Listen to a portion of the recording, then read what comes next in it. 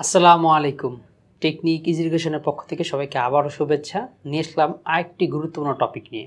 সেটা হচ্ছে ব্যাকরণের আলোচ্য বিষয়। ব্যাকরণের আলোচ্য বিষয় থেকে আমরা যেটা দেখি, সেটা হচ্ছে প্রশ্ন আসে, একটি আলোচ্য বিষয় দিয়ে বলে এটা ব্যাকরণের কোন অংশে আলোচিত হয়। এখন সেই বিষয়গুলো আমরা অনেকগুলো থাকে খুব সহজ, কিছু থাকে দ্বিধাগ্রস্ত অবস্থায়। অর্থাৎ এই মনে হয় এটা ধ্বনিতত্ত্বে আলোচনা, এই মনে হয় এটা শব্দতত্ত্বের আলোচনা। কিছু জিনিস আছে, মনে হচ্ছে এই শব্দতত্ত্বের আলোচনা আবার মনে হয় আলোচনা। এবং এই বিষয়টা এক একটা বইয়েতে এক এক রকমভাবে দেওয়া। তাহলে সেই ক্ষেত্রে কি করা যায়? নতুন ব্যাকরণের মধ্যে জিনিসটা এসেছে, আরেকটা পরিবর্তন। তাহলে এখন সেই ক্ষেত্রে করণীয় কী? তাহলে এই ছোট্ট প্রশ্নতে কখনো ভুল না হয়, এটা আমরা জানব। আরেকটা লাভ হচ্ছে, আমরা কিন্তু এই ফাঁকে দেখে নিব যে সম্পূর্ণ ব্যাকরণের মধ্যে আসলে আছেটা কি? কি কি জিনিসগুলো সম্মিলিত বিষয় হয়ে ব্যাকরণের মধ্যে তৈরি হয়েছে?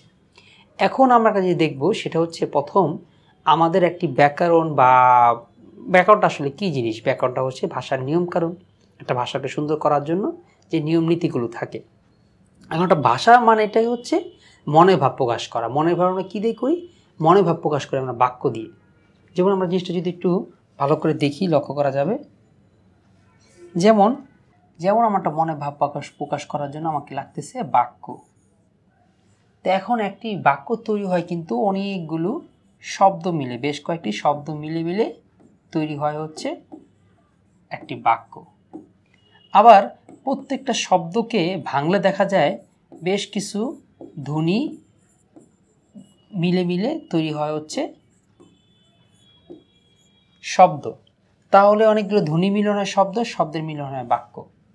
এখন এই বাক্যটাকে সঠিক করার জন্য রয়েছে কিছু নিয়ম নীতি এরপর হচ্ছে এই শব্দটাকে ভালো করে জানার জন্য রয়েছে কিছু নিয়ম নীতি।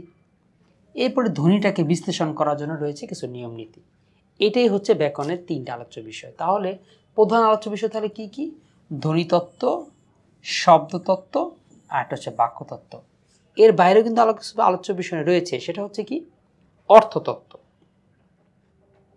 যেমন ধ্বনিতত্ত্ব, শব্দতত্ত্ব, বাক্যতত্ত্বের বাইরে আবার একটা কী রয়েছে? সেটা আমরা দেখতে পাবো। অর্থতত্ত্ব, আবার রয়েছে অভিধান তত্ত্ব অলঙ্কার তত্ত্ব তো এই আলোচ্যটা না হচ্ছে একটু কম, এটাই হচ্ছে প্রধান আলোচ্য বিষয়, সেই জন্য আমরা কিন্তু সেইভাবে করে ভাগ করেছি। এবং আমরা একটা জিনিস দেখতে পাচ্ছি, সেটা হচ্ছে যে কোন অংশে ঠিক কী পরিমাণ আলোচনা রয়েছে। দেখা যাচ্ছে ধ্বনিতত্ত্বে আলোচনাটা একটু কম, শব্দের সবচেয়ে বেশি বাক্যের ওটাও একটু কম।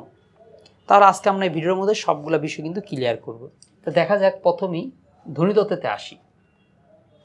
ধ্বনিতত্ত্বের এই ইংরেজি পারিভাষিক শব্দটি হচ্ছে ফোনোলজি যেমন ধ্বনি ও বর্ণোপকরণ, যুক্ত ব্যঞ্জন, উচ্চারণ, ধ্বনি পরিবর্তন, সন্ধি নত্যবিধান সত্যবিধান, বানান। তা এখানের মধ্যে আমরা কয়েকটা জায়গায় কিন্তু স্টার দিয়ে রেখেছি। আমরা লক্ষ্য করে দেখতে পাবো, এখানে আমাদের বেশ কয়েকটি জায়গায় স্টার চিহ্ন দেওয়া। কেন স্টার চিহ্ন দেওয়া? কারণ এই জিনিসগুলো কিন্তু আমাদের দ্বিধাগ্রস্ত করে। কীভাবে? যেমন উচ্চারণটা, যেহেতু একটা শব্দের উচ্চারণ লেখা হয় বাক্যের মধ্যে, যেমন অতি। এখন আমরা এটা উচ্চারণ লিখলাম হচ্ছে অতি।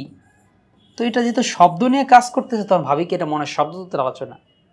কিন্তু এটাই বুঝতে হবে, আসলে এটা শব্দ থেকে শব্দের উচ্চারণটা করল, এটা শব্দের না, শব্দের ধ্বনিটা কেমনভাবে উচ্চারিত হবে, এটা নিয়ে যেহেতু আলোচনা করে, এই জন্য এটা ধ্বনিতত্ত্বের আলোচনা বিষয়।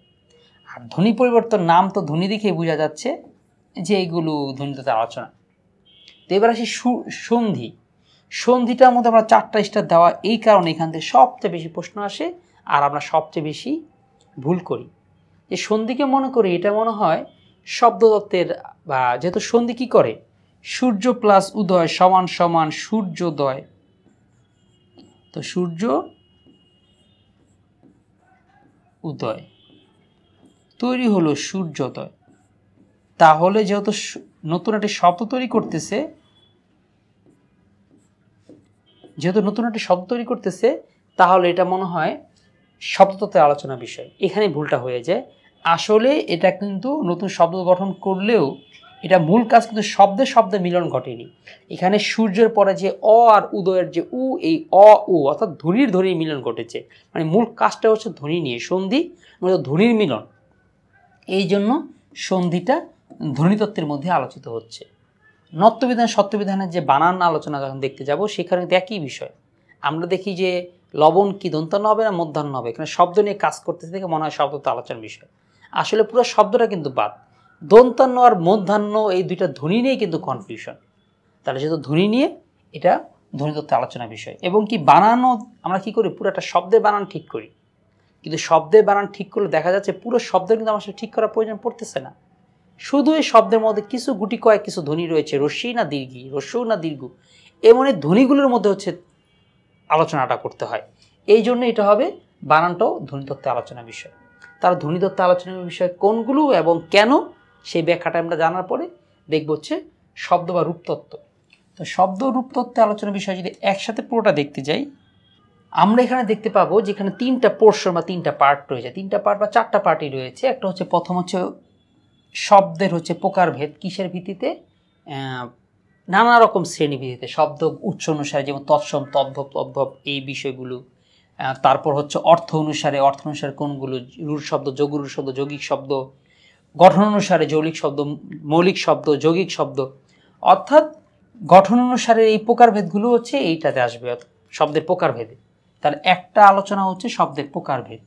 এই পর্যায়ে শব্দ গঠন, অর্থাৎ শব্দ কত রকমভাবে গঠন করা যায়, দেখতে পাচ্ছি। উপসর্গের মাধ্যমে শব্দ গঠিত হয়, প্রত্যয়ের মাধ্যমে শব্দ গঠিত হয়, আর প্রত্যয়ের একটি আরেকটা আলোচনা হচ্ছে ধাতু। সমাসের মাধ্যমে শব্দ গঠিত হয় শব্দদিত্যের মাধ্যমে গঠন গঠিত হয়। এই পার্সেসে পদ পদের মনে কি দেখতে পাচ্ছি? যে পদ, এই প্রকারগুলো সবগুলো কিন্তু শব্দতত্ত্বের মানে অর্থাৎ শব্দ বা রূপতত্ত্বের মধ্যে আলোচনিত হচ্ছে। তারপর হচ্ছে কিছু রয়েছে খুচরো খুচরো আলোচনা, যেমন লিঙ্গ মানে হচ্ছে পুরুষবাচক নারীবাচক শব্দ, ব, পুরুষ মানে হচ্ছে ওই ফার্স্ট পার্সন সেকেন্ড পার্সন ইংরেজি যেটা পার্সন বোঝায়, বাংলা উত্তম পুরুষ, মধ্যম পুরুষ, সেই পুরুষটা। বচন বলতে হচ্ছে এক বচন, বহু বচন পদার্থ নির্দেশক, এটা আবার অনেকে নতুন লাগে, চিনিতে পারি না। এটা হচ্ছে ইংলিশের যে আর্টিকেলটা রয়েছে, বাংলা সেটা নাম হচ্ছে পদার্থ নির্দেশক। যেমন ইংলিশে যেমন এ অ্যান্ড দা বাংলা হচ্ছে টিটা খানাখানি। অর্থাৎ নির্দিষ্ট করে যেই শব্দগুলো। এরপর হচ্ছে সংখ্যাচক শব্দ, বিভক্তি। যাই হোক, আমরা তো এগুলো সবগুলো পাট পাট আলোচনা করি বা আলোচনা করব। এবার বাক্যতত্ত্বে আলোচনাতে আসি। দেখা যাচ্ছে বাক্যতত্ত্ব আলোচনার মধ্যে যদি আলোচনা করতে হয়, সেটা হচ্ছে বাক্যতত্ত্ব বোঝার জন্য মন রাখার সিস্টেম হচ্ছে বাক্যতত্ত্বের মধ্যে হয় বাক্য কথাটা থাকে কিংবা বা কথাটা থাকে। এইভাবে কিন্তু আমরা সুন্দর করে এই টেকনিকের মাধ্যমে দেখে নিতে পারি। আসলে এই পিডিএফটার মধ্যে একটু জিনিসটা গুছিয়ে দেওয়া, কারও যদি পিডিএফটি প্রয়োজন হয়, তাহলে আমাদের এই ভিডিওটির যে কোনো একটা অংশে কমেন্ট করলেই আমরা কিন্তু পিডিএফটি সার্ভাইভ করব। অর্থাৎ তাকে দিয়ে দেওয়া হবে। এরপর হচ্ছে বাক্যতত্ত্ব। বাক্যতত্ত্বের মধ্যে আমরা কী দেখতে পাচ্ছি? যে দুইটা শব্দ নিয়ে আমাদের একটু কনফিউশন তৈরি হবে। কারণ এই দুইটাকে আদি প্রান্ত থেকে সবাই কিন্তু শব্দতত্ত্বে আলোচনা বলেই বুঝে আসতো। কিন্তু হঠাৎ করে বাক্যতত্ত্ব দেখা কেন গেল? কেন এটা বাক্যতত্ত্ব হবে? আসলে আমার কাছে যেটা আমি জানি, সেটা হচ্ছে এই ব্যাকরণ আলোচ্য বিষয় টপিকটা নিয়ে আমাদের কিছু সমস্যা থাকে, যে কয়েকটি আছে, যে এই ধ্বনি থেকে শব্দ, এই শব্দ থেকে বাক্য এরকম মনে হতে থাকে। এই জন্য জিনিসটা দ্বিধাটা দ্বিধাটা দূর করার জন্য কিন্তু আমাদের ভালো করে বুঝতে হবে, যে আসলে বিশেষ করে কারকটা, এখানে চারটে স্টার দেওয়া, কারকটা কারকটা কেন বাক্যতত্ত্বের মধ্যে আসলো? যেখানে আমরা যখন বলি গরু ঘাস খায় তো এখানের মতো তো আমরা নিশ্চয়ই গরুর নিচে দাগ দেওয়া থাকে আর বলা হয় এটা কোন কারক তা তো শব্দ নিয়ে কাজ করে। তাহলে এটা বাক্যের মধ্যে আসবে কেন? তো এখানে আসে, রয়েছে বোঝার বিষয়টা। সেটা কি? বোঝার বিষয়টা হচ্ছে এরকম যে গরু তো কোনো কারক হয় না। একটা বাক্য লাগে। বাক্যর মধ্যে কে কোন পদে রয়েছে বা কে কোন দায়িত্বটা পালন করতেছে এবং কে কি বুঝাচ্ছে? কে কর্তা, কে কর্ম, কে অধিকরণ, কে অপাদান? তার মানে হচ্ছে যেহেতু কারকটা হওয়ার জন্য বাক্যটা আবশ্যক, সুতরাং বাক্যতত্ত্বের আলোচনা। এটা শব্দতত্ত্বের না কারণ আমরা দেখবেন যে যে কোনো বই পুস্তকের মধ্যে আমরা দেখব কিন্তু কারকটাকে এখন পর্যন্ত শব্দতত্ত্বের মধ্যে শব্দতত্ত্বের মধ্যে দিয়ে দেওয়া। ঠিক আছে? কিন্তু নতুন ব্যাকরণ আমাদেরকে জিনিসটা সমস্যা সমাধান করিয়ে এটাকে বাক্যতত্ত্বের মধ্যে দিয়ে রেখেছে।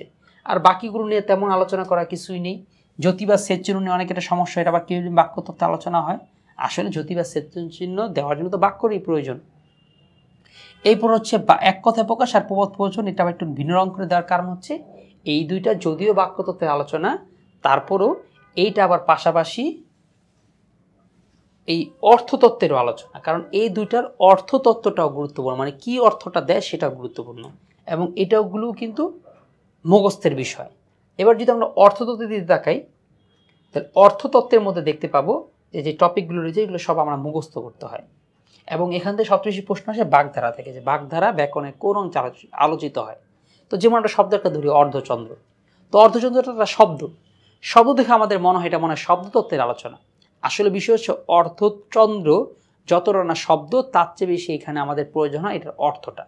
অর্থাৎ এটা দ্বারা কিন্তু আমরা একটা ভিন্ন একটা অর্থ বুঝাই। শব্দতত্ত্ব দ্বারা আমরা কিন্তু একটা ব্যতিক্রম একটা অর্থ বুঝাই, বুঝিয়ে থাকি।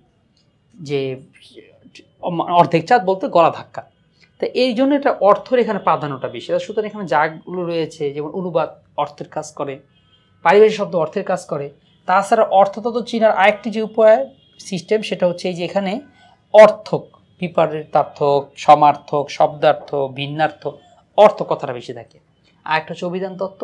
অভিধান তত্ত্ব বোঝার জন্য আমরা জিনিস দেখব যে আসলে অভিধান তত্ত্বটা হচ্ছে যেমন, অর্থাৎ এটা আমাদের ব্যাকরণের, হুম, এরকম আসে যে নিচের শব্দগুলো ব্যাকরণে কোন অংশে বা ব্যাকরণ কম অনুসারে সারা সাজাও তাহলে ব্যাকরণের ক্রম যে সাজানো কিন্তু একটা বিষয়, যে ব্যাকরণের একটা ক্রম রয়েছে ধারাবাহিকতা আছে নিয়মকানুন রয়েছে। যে সাধারণত যে যুক্ত অক্ষর অনুযায়ী সাজানো হয় সেটা তো আমরা জানি। এটা সাধারণ বর্ণনার ক্রম। কিন্তু অভিধানে আবার এই বর্ণানুর ক্রমটা একটু কিন্তু পরিবর্তন হয়ে গিয়েছে। যেমন এখানে আমরা দেখছি যে চন্দ্রবিন্দু অনুসারে এগুলো বাক্য বর্ণ শেষের দিকে, কিন্তু অভিধান এগুলো আবার একটু কি? আগে। এই যে অভিধানের যে ক্রমগুলো, অভিধানের যে নিয়ম কানুনগুলো আবার যুক্তগুলো কেমন হবে, এই নিয়ম কানুনগুলো নিয়ে যেহেতু এই আলোচনা, তো সুতরাং এই হচ্ছে অভিধান বিধি আলোচনা, আর একটা হচ্ছে অলঙ্কার তত্ত্ব এটা হচ্ছে ছন্দ কিংবা অলঙ্কার, অর্থাৎ বাক্যের যে বিভিন্ন কবিতা লেখা যে ছন্দগুলো রয়েছে, অলঙ্কার হচ্ছে বাক্যের মধ্যে যেরকম উপমা, উদাহরণ এগুলো ব্যবহার করা হয়, এইসব নিয়ে। তাহলে আমরা ব্যাকরণের আলোচ্য বিষয় নিয়ে যে খুঁটিনাটি বিষয়গুলো ছিল, যেখান থেকে প্রশ্ন কম আসে, বেশি আসে, কীভাবে আসে, কি জানতে হয় মোট আলোচ্য বিষয়গুলো কি কি ছিল, কি কি জানতে হয়, সব আমরা দেখে ফেললাম। এখন আমাদের আশা করি এখান থেকে যখন প্রশ্নগুলো আসবে, আমরা অবশ্যই সফলকাম হব, কৃতকার্য হব। সেই শুভকামনা জানিয়ে ভিডিওটি এখানে শেষ করতেছি। আমরা টেকনিকের যে পেজটি ফেসবুক থেকে দেখছি, এখান থেকে যে উপকৃত হচ্ছি, তো চ্যানেলটা আমরা সাবস্ক্রাইব করে রাখব এবং ফেসবুক থেকে যে দেখা হবে, সেই ফেসবুকে যে পেজটি, সেই পেজটিকে লাইক দিয়ে ফেভারিট করে রাখব। ধন্যবাদ সকলকে, আসসালামু আলাইকুম।